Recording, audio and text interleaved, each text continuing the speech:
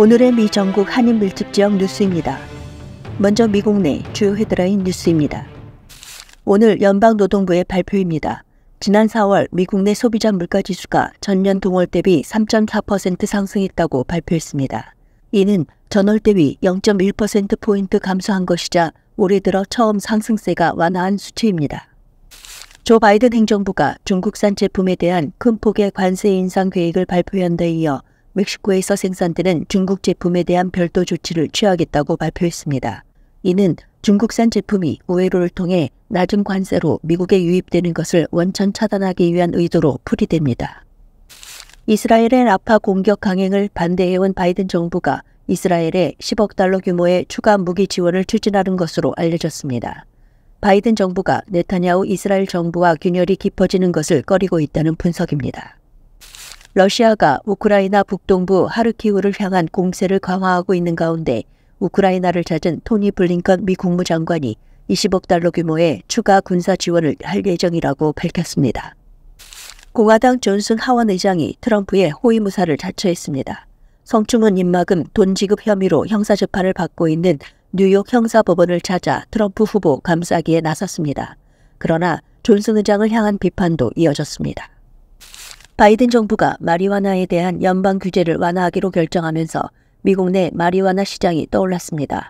의료용에 사용하는 합법 마리화나 시장 규모는 향후 10년 안에 8배 이상 성장할 것으로 전망됐습니다. 한국에서의 건강검진, 진료, 수술 예약은 한국 방문 전 K-메디컬 톨스닷컴에서 하실 수 있습니다. 한국병원 예약 공식 지정업체는 K-메디컬 톨스닷컴뿐입니다. 한국 내 병원 전문의의 의료 상담도 예약 연결해 드립니다. 문의는 전화 213-700-3366번입니다. LA, 오시 등 미서부 한인 밀집 지역 소식입니다. 올해 들어 LA 샌프란도 밸리 지역에서 차량 절도가 지난 4개월간 무려 8,043건이 발생했습니다. 전년도 같은 기간에 비해 28.2% 급증한 것으로 주요 절도 타겟 차량은 역시나 현대차와 기아 자동차로 나타났습니다. 테슬라가 캘리포니아주 프리몬트 공장에서 대기 청정법을 준수하지 않아 공장 주변 지역에 해로운 오염물질을 배출했다며 하루 12만 1275달러씩 민사 벌금을 부과해달라는 소송이 제기됐습니다. 자율주행차 웨이모가 지난 월요일 10번 프리웨이에서 다른 차량과 추돌하는 사고를 냈습니다.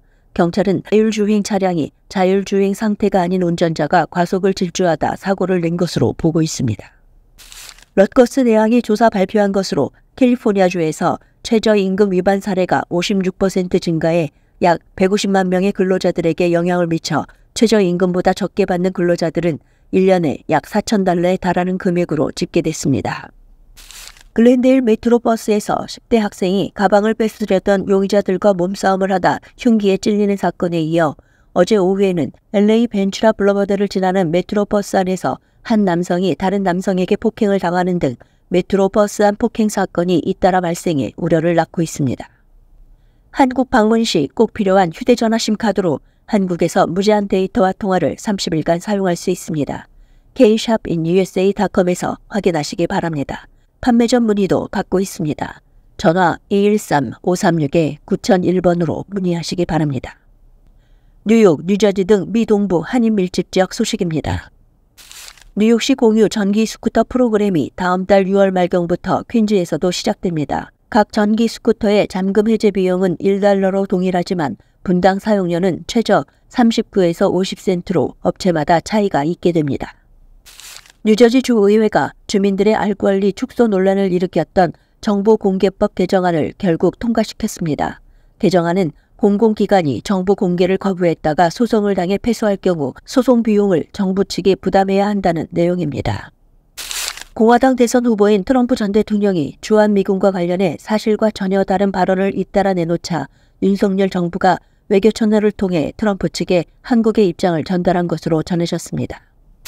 워싱턴 DC에 있는 사립종합대학인 하워드 대학교에서 올해 83세 여성 최고령 졸업자가 배출됐습니다.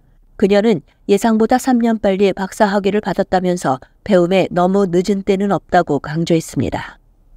뉴욕시 퀸즈 아서 애시 스타디움에서 열린 웨스트민스터 Kennel Club dog show에서 텍사스 휴스턴에서 온 미니 푸들종 세이지가 최고상을 받아들었습니다. 두피 coloring이 미국에 상륙했습니다. 머리숱이 적어 걱정이신 분, 탈모나 부분 탈모로 고생하시는 분, 최신 기계로 안전하게 시술해 드립니다. No pain, no blood, 당일 시술, 당일 외출 가능합니다. 안전시술 라이센스 보유, 타주에서도 방문하는 두피 coloring. 자세한 문의는 전화 213-653-4103번으로 하시기 바랍니다. 샌프란시스코, 시애틀 등 이밖의 미국 내 한인 밀집 지역 소식입니다. 구글이 자사 검색 엔진에 생성형 인공지능 AI를 정식으로 탑재했습니다. 음성 기능을 추가해 텍스트를 넘어 대화 형식으로 사용자와 소통할 수 있게 했습니다. 중국의 동영상 플랫폼 틱톡에 콘텐츠를 올리는 미국인들이 최근 제정된 일명 틱톡 강제 매각법이 헌법이 보장한 표현의 자유를 침해한다며 예상대로 미국 정부를 상대로 소송을 제기했습니다. 워싱턴주 공항에 막 착륙한 에어버스 A321 항공기 조종석 아래에서 전기 합선으로 인한 화재가 발생해 승객들이 긴급 대피하는 일이 벌어졌습니다. 다행히 인명피해는 발생하지 않았습니다. 미국의 전설적 가수이자 작곡가 스티비 원더가 자신의 74번째 생일인 지난 13일 아프리카 가나의 시민권을 받았다는 소식이 들어왔습니다.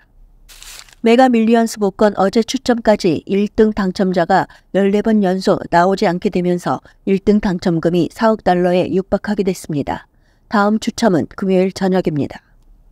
미 전국 한인사회 소식 제보를 받고 있습니다. 주변에서 일어난 크고 작은 사건이나 목소리를 내고 싶을 때 이메일 news at usknnews.com이나 전화 213-986-2624번으로 제보해 주시기 바랍니다.